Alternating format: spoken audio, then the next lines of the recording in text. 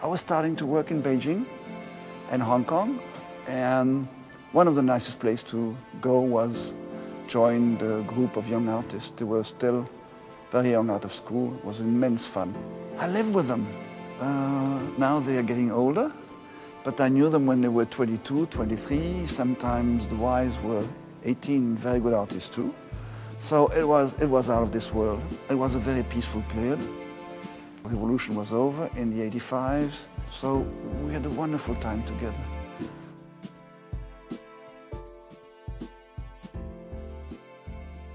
尤伦斯先生的中国当代收藏是目前中国当代收藏里面最完整跟最具系统的一个收藏。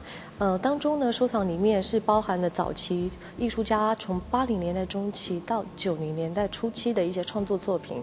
那当中呢，也囊括了不同的画派。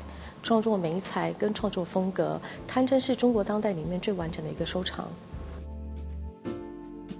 This is a special one. This Zhang Xiaogang. Tell us, you're the one who reunited this uh, split triptych. Uh, we had, had been able to find these two, and the third one had disappeared. Nobody knew where it was. I don't think we could have these two pieces without the third one. Nobody knew that we didn't have the third one, or that we had the two, the two first ones and finally had the luck to, to take it away at a huge, huge price.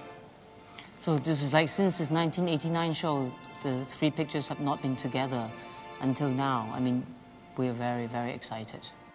深深习习之爱是一九八八年所创作，也是张小刚早期创作作品当中，呃，最具代表性的一套作品。呃，画中人物的可以看得到许多的创作元素呢，其实都已经是有后期张小刚大家庭系列的一些象征的风格，比如说人物当中的眼睛的描绘方式，跟象征新生的婴儿，都是他后期典型创作的题材。I find it so amazing. Like this Geng Jianyi comes from his graduate show. How did you spot these talents so early in their career? I fell in love with his painting in a huge way. I think he is a risk taker. There's some some ideas from Western artists, but then he went all the way to show what he was up to, and um, I think it's a masterpiece. Yes. No one was doing this at the time, very avant-garde. Yes, and nobody understood, so lucky for me.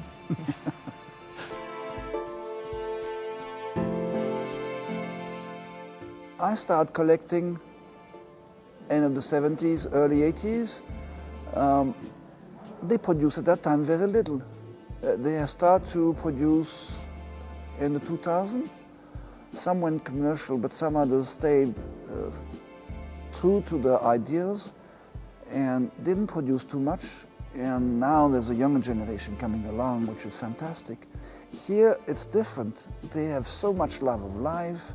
They have so much to discuss about uh, quality of the art. Um, it's very optimistic and uh, it's warm to the heart.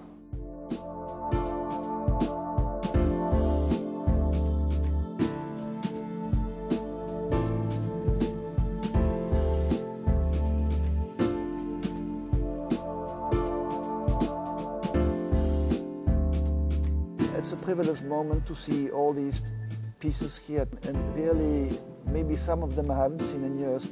They're still stored in your mind you don't lose them, you recognize them immediately, you know all the events which were around them. One day they will really recognize that these guys were geniuses, representative of an extraordinary period of China booming. It's a great moment into the world art history. Um, it is very rich, it's beautiful, and I hope that the next ones are going to enjoy it even more than I did.